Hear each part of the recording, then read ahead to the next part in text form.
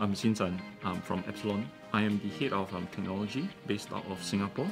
Epsilon um, is a marketing automation company who connects um, people with brands. At Epsilon, we provide um, services for our customers that include data, insights, technology, as well as creative.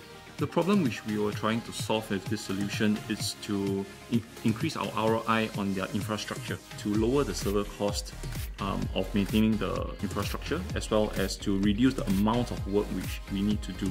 And the second one is we do not know how much of our uh, capacity that we are currently using.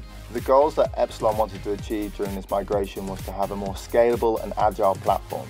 What this would achieve for them was the ability to have cost savings and increased performance. We chose Rackspace for a very simple reason fanatical support. Fanatical support is about Rackspace and Rackers going absolutely above and beyond to do everything we can to make sure the customer has a unutterably exceptional experience. Over here at Epsilon, we run a lean application team. And with um, the fanatical support um, from Rackspace, basically my team can focus on what they do best and leave the infrastructure to the experts. We are using the DMS um, service from um, AWS.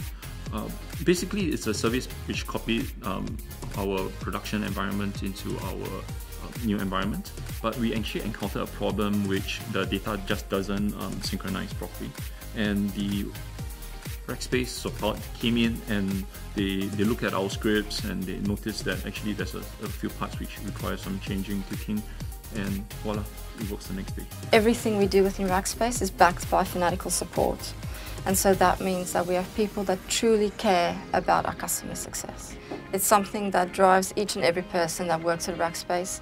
We are passionate about technology, but more than that, we are passionate about our customers, extremely passionate about helping them succeed and helping them achieve their business goals. So with um, AWS, out of the box, they have a lot of monitoring tools. We were able to see how much um, the load is throughout the day, and we are able to throttle the number of servers. By looking at the graphs that are provided, we are able to determine when we need more servers just in time. Basically, the migration for this application isn't very stressful because we are in the good hands of Rackspace. After the migration, my team is able to focus on what they do best and now leave um, the maintenance of the servers to the experts at Rackspace.